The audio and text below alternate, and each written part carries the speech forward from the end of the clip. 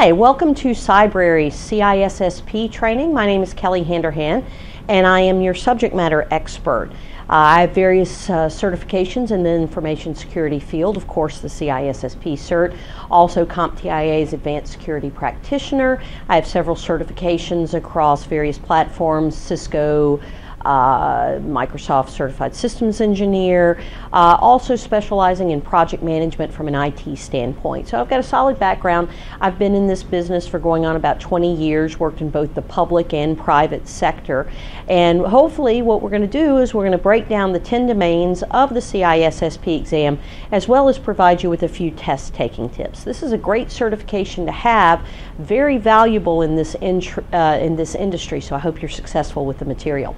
All right, now what we're going to be covering uh, throughout the class, as you're probably aware of, the CISSP exam is broken up into 10 domains or areas of knowledge. This is certainly not and everything you ever wanted to know about IT security class, this really is very specifically focused on what it takes to pass the CISSP exam.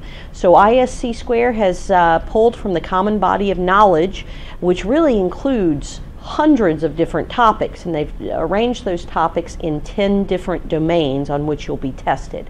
Now, the material that we'll cover uh, in this particular class, we're going to start out this morning with information security governance and risk management.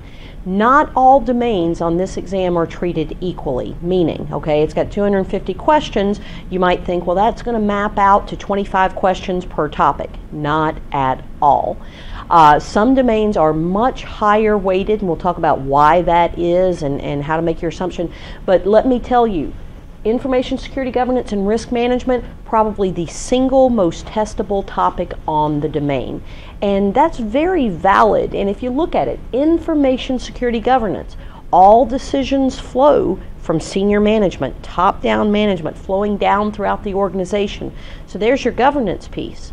But risk management risk management is the foundation for every decision that we make Okay, so if you look at the remaining domains, if you were trying to, to uh, figure out which domain does risk management not factor into, factors into every single domain. What type of cryptographic algorithm should I use? What type of media from a telecommunication standpoint, or what sort of protocols? What sort of network connectivity devices? Uh, business continuity, married to risk management.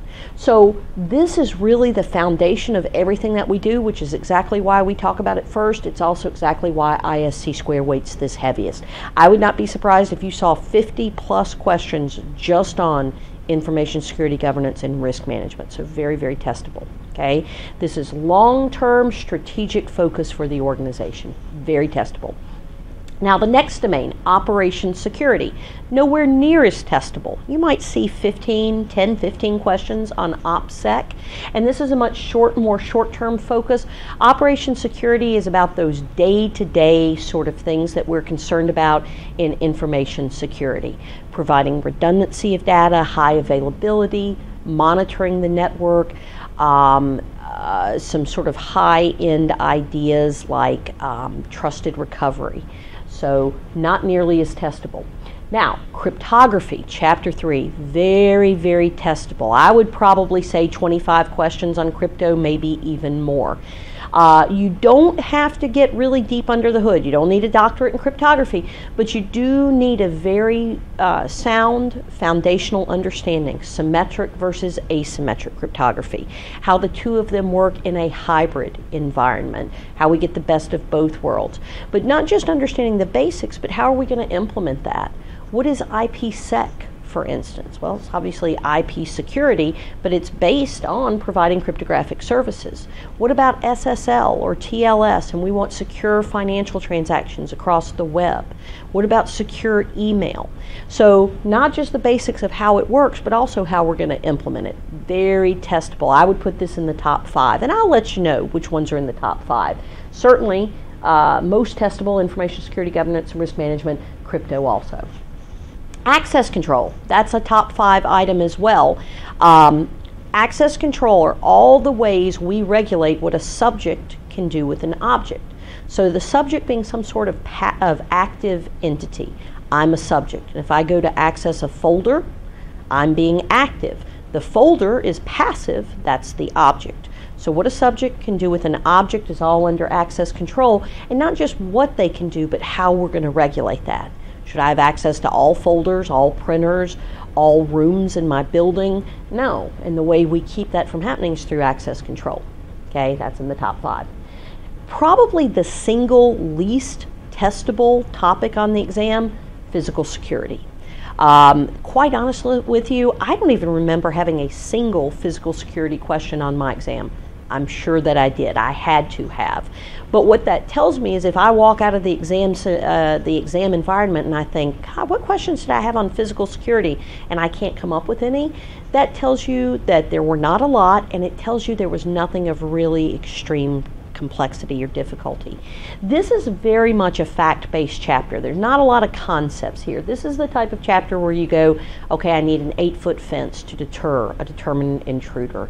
I want a Class C fire extinguisher. I'm probably going to use an electromechanical um, intrusion detection system or burglar alarm. So, a lot of facts with this chapter, not one you're going to spend a ton of time with, though. Okay, I'd probably rank that about 10 in testability. Now we move on to the telecommunications and network security domain. Very, very testable. It's in the top five. And just a word to the wise if you are not a network person, you will not become a network person after six hours of lecture. So, what that's going to tell you is that if this is going to be a weak area for you, now, a lot of times people come to this class with a very strong background in telecommunications. You don't have to have a strong background here to be successful, but it doesn't hurt. If you're not a telecom network person, honestly, the best thing that I can recommend is that you pick, pick up a little supplementary book. Obviously, I'll cover this in the depth that's appropriate for the exam but I'm going to make certain assumptions, like you know the purpose of a protocol, you understand, uh, you know some of the hub, switch, router, repeater, gateway, what some of those different elements are. So, uh, and even though we'll cover that, it'll be at a high level. You may want to get uh, another supplementary book for this just to help you out. The other thing is telecommunications feels like alphabet soup. I've got all sorts of uh, uh, protocols, and they all sound alike, and they all do something different. So I would strongly recommend a little supplementary material. I don't generally endorse books as a rule un- unless it's very meaningful to me. Uh, and even when I do recommend, I very rarely recommend the For Dummies book. I will tell you that Networking for Dummies is a good, solid little book that would catch you up. Okay, so I'll just throw that out there. But telecommunications is going to be in the top five. All right, another chapter that's not heavily testable is uh, legal ethics and investigations. One of the things that ISC Square is pushing towards is becoming an internationally known exam, and they really have uh, crossed that barrier pretty well. So they're getting away from a lot of U.S. laws. You're not going to be grilled on Gramm Leach Bliley or the Computer Fraud and Abuse Act or uh, the Kennedy Kassenbaum Act, which led to HIPAA and all those things. What you are going to see is you're going to see uh, a handful of questions on ethics, and here's a tip. You, by the time you sit this exam, will have already signed the ISC Square Code of Ethics. Might as well read it. Okay? So you'll have a handful of questions there forensic investigations. You don't have to be a forensic scientist for this, but you do have to follow some sound foundational principles of, of, forensics and investigations, and the number one rule being evidence collection should not modify the evidence. So sometimes your job in investigations is simply to isolate the area and call uh, a party that's better trained to preserve and collect evidence. We'll talk about all that, but just to give you a feel for that chapter, very low in testability. Honestly, physical and legal hand in hand there at about 9 and 10. Okay? I would be I would say maybe 10 questions between both of those domains total. All right, chapter 8, huge, huge, huge right up there with information security governance and risk management. Some people tell me business continuity is first, some tell me risk management's first. The bottom line is they're both huge. From my personal experience, when I took this exam, the first time I took it, and I've taken it three times, I just want to go on record as saying I passed it the first time each time. I don't want you guys panicking, thinking, oh my gosh, how are we going to pass it if the instructor couldn't? But what I've done is I've tried to take it uh, when they have um, modified it and when they go to a new version, because as an instructor, I want to make sure I'm teaching to the current version of the exam. So I've taken it three times, the most recent time back in June. But the first time I took this, which was back with version 3, so maybe seven, eight, nine years ago, whenever that was, I actually got to question 25 and I shut my booklet to make sure I had signed up for the right exam. And the reason for that is my first 25 questions were nothing but business continuity and disaster recovery. And I thought maybe I'd signed up for a BCP exam. Um, the reason for that is every decision we make starts with risk management and marches towards the continuity of the business. Because what it's ultimately about is do we keep the business going and how? Okay, so huge intestability, huge, huge, huge. This and this, chapter one and chapter eight, are both, I would put right around one and two. All right, software development security. This is in the bottom five, but honestly, it's on its way up. Uh, we're seeing more and more questions, as we should, because ultimately, where are our vulnerabilities? What are we protecting? Where are our weaknesses? Well, our weaknesses are in the software. And our weaknesses are in the software because we're not writing secure code. And until we start writing secure code, we're going to continue to have these weaknesses.